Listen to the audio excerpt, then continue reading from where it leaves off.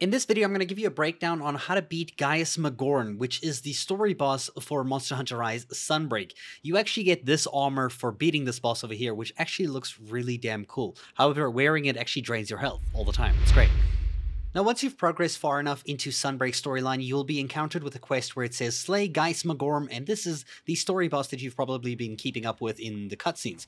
Now, when you start this quest, I recommend taking at least this kind of like dust-looking one under the health potions, the Easy Farcaster. It's a, an item that lets you come back here to replenish health potions or something in case you need them, and you just might need them, because this boss is huge, he's big, and he's really annoying to fight because there's only three weaknesses on his body where you can attack him. The first one being his head, obviously, where his head will take damage, and his two big front legs, and also his tail. If you somehow manage to hit his tail, eh, it's it's very hard to hit those. But those are the ones that are going to be taking yellow damage, whereas the rest of his body is going to be gray damage, which is not going to do as much damage to those body parts. So you want to kind of focus on those three things: his front arms, his head, and his tail in general to get the most out of the damage here.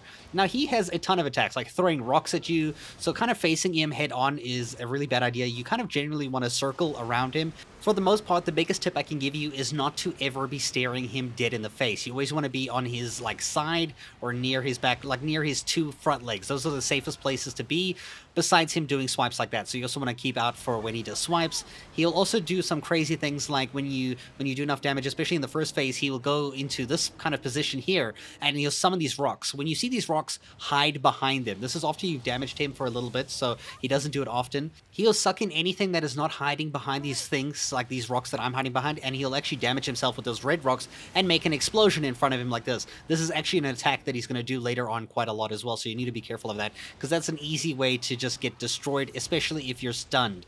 Anytime he lifts his arms, prepare for it to come down smashing, so make sure you're not near the arm that goes up to the sky. So when he starts to like get his feet off of the ground, you should be moving away from that area or get to his sides or behind him as quickly as possible because it's very easy to get caught up in these attacks because they take up a huge area. Now when you have the Dragonair signal unlocked, as you can see on the right side of the screen, you can go to this device over here, this kind of like bow thing, activate it, and you'll see it will actually damage the boss for some nice cheesy damage, and you'll also maybe even get an opportunity ability to just get off a few attacks on his arms. You'll see he also does like a head swipe where he drags his head along the ground. Doesn't do it often.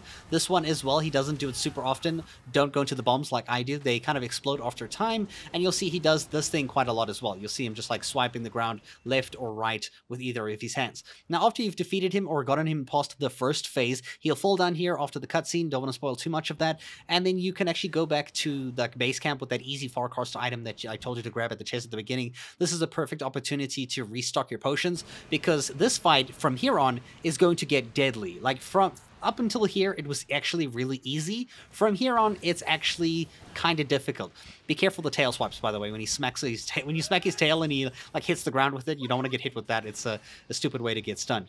Now you'll see in this phase, there's a lot of these uh, things where he tries to climb the wall, and you need to shoot these red balls on his back with, which are those like you know those little bird things.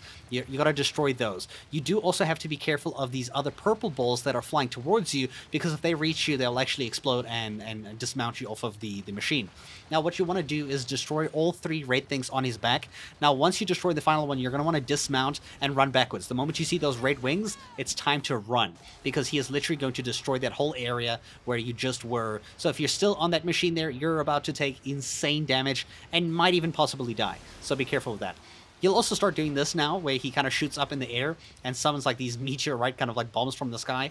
They are kind of like signaled on the ground by a red circle, but it's also easier to just look up and just make sure it's not going to land on you.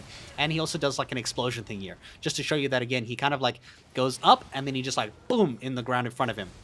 So in general, like I said before, do not stand in front of him because if you're in front of him, most of these attacks are going to hit you because they're all faced directly in front. He also does like a wind sucking ability and then a swipe right after that, as I'll show this just again in a different angle.